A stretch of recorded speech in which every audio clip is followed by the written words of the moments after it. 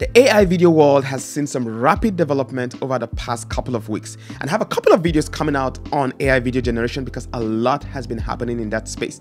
But in this video, I wanted to quickly show you a new tool that was released by Runway, which I think is a game changer in the way we generate AI generated animations and AI generated videos.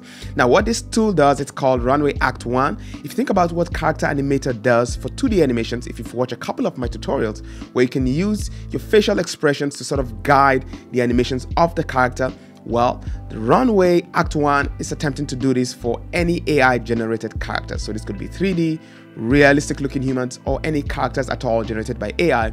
You could use your facial expressions or get a professional uh, motion capture actor to do that on camera and use that and transfer those inputs to your character. Now, they're not the first ones that have attempted to do this, but from some of the first results I'm seeing from this, I think they're one of the best out there because the results are quite impressive in how it's able to capture uh, some of the details of the facial expressions. So in this video, I'm going to show you how you could use the tool. And then it currently only supports animating one character at a time, but I'm going to show you a trick you could use to actually get it to animate more than one character, as many as you want, uh, to create something like this. um, are you seeing what I'm seeing? Uh, oh yeah. Do you think we should tell him to stop embarrassing himself? Yeah, it's perfect. Perfectly hilarious.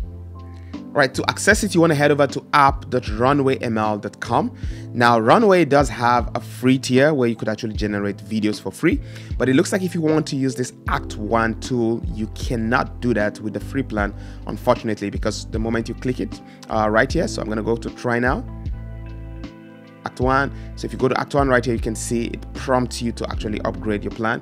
Uh, you'd have to pay about $10 or $15 a month to use that, but I'm going to show you how it works here if you want to see how it works. So the first thing you want to do right here is that they ask you to select a video. So I'm going to click on select asset and then I'm going to upload a video here. I've just done a quick recording to do some facial testing. And then what happens is that they have a bunch of characters that you could select from here uh, a bunch of sample characters.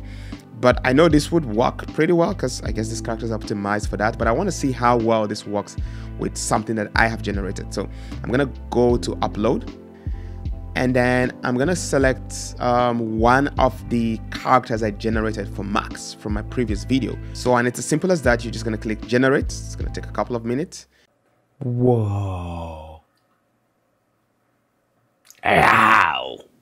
So that is not bad at all. So if you look at it, it's actually picking all the movements, including if we look closely right here, even the movement of my eyebrows and the blinks. So that's quite impressive. Okay, so that wasn't bad, but next let's actually try lip syncing. So in the next video, I'm actually gonna speak and see how well it syncs with my lips, as well as my other facial expressions. Whoa. Look at all that gadget. This is much bigger than I thought. Wow. I can't wait to explore it all. I must say I am impressed with the results. The lip sync is actually spot on and it's still able to gather the rest of my facial expression. So I'm actually now excited to work on the full Max movie. So watch out for that. But if you look at it, there is some bit of lifelessness in it and I have some weirdness going on with the eyes there as you can see, but this might just be because of the way this character has been generated. So now let's actually try it with some of the inbuilt characters because I'm sure these have been properly optimized to use this tool. Let's see if we can get some better results from that. Whoa. Look at all that gadget. This is much bigger than I thought. Wow. So for me, that was much better. I think the expressions were much liveless. So I think there is something about the way the character is generated. And once I do the deep dive video of this, I'll make sure to cover whatever I find on that. So make sure you're subscribed for that. Let's try one more and see what we get. Young boy, did I just hear you say take us to the sun? Again, that one was really, really, really good. If you look closely, you can see that even the wrinkles on my head were being picked by this, which is actually crazy and insane. So there is a lot of potential in the tool. All right, so now next let's talk about, uh, it only supports one character. So let's talk about how you can actually get this to generate more than one character animation. So I'm gonna head over here. I have a car some characters here that I've generated of two, uh, a man and a lady. uh, but I want both of them to speak in it. So what I'm gonna do is grab that, take it onto Photoshop, and use the uh, Photoshop select tool to individually select the both characters and separate them out. Now once I've done this, I'm then gonna take out the background, um, use Photoshop generative fill tool to regenerate uh, the backdrop from this so that I have a clean slate background. And that's you can use the generate background option on Photoshop right here to actually generate a background for that. So I now have three sets of image. I have the male individually I have the female individually and then I have a background so the next thing I want to do is then um, remove the background and replace that with a green screen background because we're going to key that in key that back in later so I'm then gonna have this saved as just the male character with a green background and just the female character with a green background. So now I'm gonna do my motion capture uh, with my camera and then I'm gonna head back to Runway ML and upload the male character right here and do the motion capture for the male character. Then I'm also gonna head over and upload the female character and do the motion capture for the female character.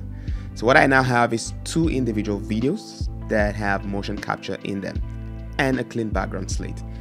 Uh, so now I'm gonna take all of these and put in my video editor tool. You could use whatever, you could use the free tool like CapCut. I use Premiere Pro, so I'm gonna use Premiere Pro for this. So I'm gonna put my clean slate background in the bottom layer. I'm gonna drag the male video, dump it on there, scale it and resize it to fit. And then I'm gonna do the same for the female video, put it on there, scale it and resize to fit. And then on Premiere Pro, I'm gonna use the Ultra Key tool to key this out so that we have um, the background, the green background removed. And then now I now have both of them uh, added back into the scene. So this way I can have the animation for both tools. And again, once I do the full-fledged tutorial on this, I might dive in deeper into this. Uh, if you're just wondering, again, just high level, how I changed the voice to not sound like my voice. I took whatever I did with my voice acting and I put that into 11 Labs uh, speech to speech, uh, they call it voice changer right now. And I was able to use that to change my voice to the female voice and my voice to the deeper male's voice. And that, and then match that all back again in Premiere Pro. Uh, so if you put that all together, we now have what you saw in the intro of this video. I'm gonna play it one more time. um, are you seeing what I'm seeing? Uh, oh yeah. Do you think we should tell him to stop embarrassing himself? Yeah, it's perfect. Perfectly hilarious. very, very quick video just to show you my quick reactions to this. I'm to play around with this a little bit more, uh, figure out some more trips and tricks, and I'm to do second tutorial on this uh, that goes probably a bit in-depth if I find uh, interesting enough things that warrant a second tutorial uh, to show you a full workflow on how to use this in your animation project or any AI video generation project. So do make sure you're subscribed to the channel to watch out for that. And like I mentioned, the AI video world has been really, really crazy. So I have a few tutorials coming out on AI video generation alone, animations and more. Uh, so again, Watch out for those. I'm going to catch you in the next one. Bye.